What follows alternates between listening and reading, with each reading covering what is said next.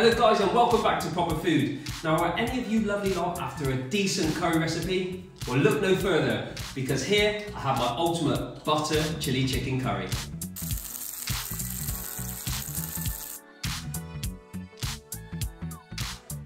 This recipe is actually a two-step process. The first one being we need to marinate our chicken thighs. So what I've got here, some natural yogurt, and that's gonna allow the marinade to penetrate into the chicken. So let's just get that in there. It's about 100 mil going in. And then it's time for some spices. So here, I've got some garam masala, a little bit of turmeric, and that's gonna go in as well.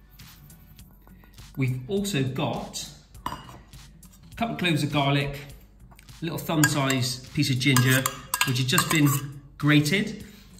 And then finally, we've got some curry paste. Now, this is just gonna help bolster all of those flavors. This is a korma paste. Give that a good old stir, making sure everything's really well combined. Then we wanna add in the juice of around half a lemon. So get that in there. Give it a good stir, cover it, and then that's gonna go into the fridge for at least two hours. But if you can do this a day ahead and leave it overnight, that is gonna be beautiful. Just look at how the chicken's taken on all those amazing flavors and spices. So now it's time to try and get a little bit of caramelization onto these bad boys because that is gonna add bags of flavor to this curry. The key to this stage now is to not overcrowd the pan. So I've got over a medium to high heat, a splash of oil. Then what we do, just get our chicken, lay that into the pan, and we want to give it a couple of minutes. Don't move it, just to give it time to just caramelize.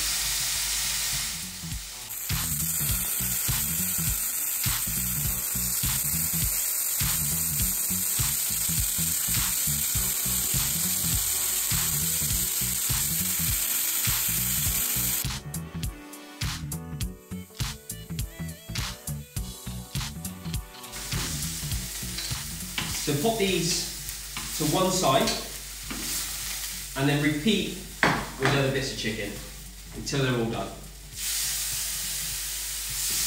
And this is what we're looking for. Look at this beautiful caramelization and that equals flavor.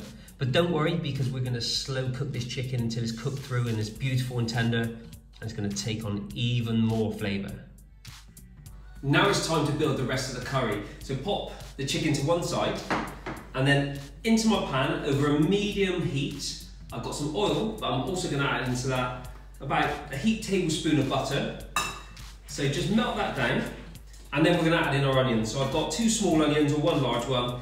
Just give them a finely slice or a chop, whatever you fancy, and then get them into the pan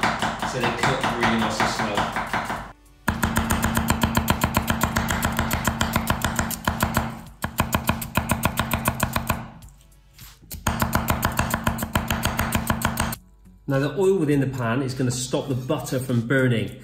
So just get the onions in and we want to cook these on a low to medium heat and I want to give them around 10 minutes because I want them to cook down, become really nice and sweet and almost caramelized. So whilst the onions are cooking down, we can actually prep our chili. Now no two chilies are the same. So it's quite important that you try just a little bit just to let you know how hot it is. So let's have a little go at this.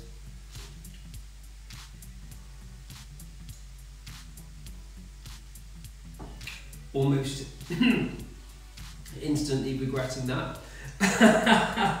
um, the actual hot part of the chili is within the seeds and the pith, as you can see here. So if you don't really like the chili heat, you can actually remove that I don't mind it. Now this is a butter chili chicken, so it needs a bit of a kick. So I'm gonna leave some of the seeds in. Um, I'm just gonna take my knife and I'm gonna finely dice this chili to pop into the pan along with the onions.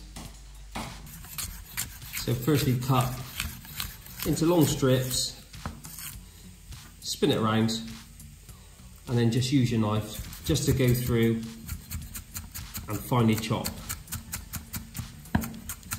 Now we're going to add this into the pan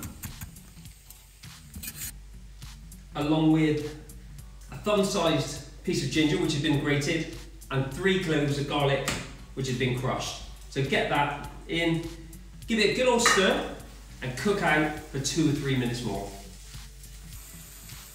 Now this is what we're looking for. Check that out there. We've got our onion, garlic, ginger and chilli just cooked down. Go really nice and sweet. And then into that we're gonna add some more flavors. So I've got a teaspoon of turmeric, a tablespoon of garam masala. We've also got two tablespoons of our tikka masala paste going in there. And also a really good pinch of salt, a grinding the black pepper, give that a stir, and then let that cook out for around two or three minutes more. And then into the pan, we're going to add a 400 gram tin of chopped tomatoes. And then we want around sort of 200 ml of water or chicken stock would be good as well, just to add that extra level of flavour. Bring that up to a simmer and then just let that reduce down for a few minutes. Would you just look at that? Really rich, buttery, packed full of flavour. And then into that pan, we're gonna add the chicken back in, along with any juices. We give that a really nice stir, and then just let that simmer down for around 20 minutes until the chicken's cooked through. The curry's had around 20 minutes now, and it just looks absolutely delicious. The chicken's lovely and tender, but I do have one final ingredient that I want to add into this and it's a couple of tablespoons of natural yogurt. So just get that into the pan. And then just give that a good old stir just to make sure everything's well combined.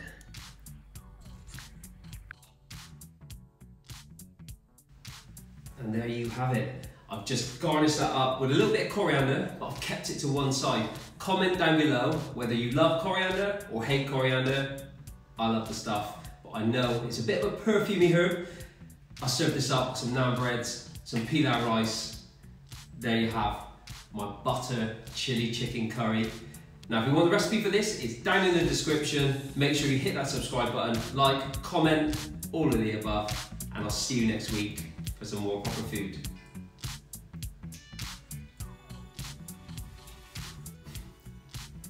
you're going to need to try this.